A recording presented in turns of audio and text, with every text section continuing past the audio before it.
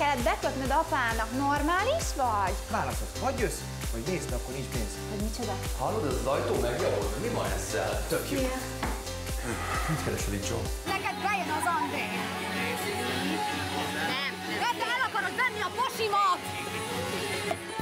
Szétszedlek, Boris, szétszedlek! Ennek még nincs vége!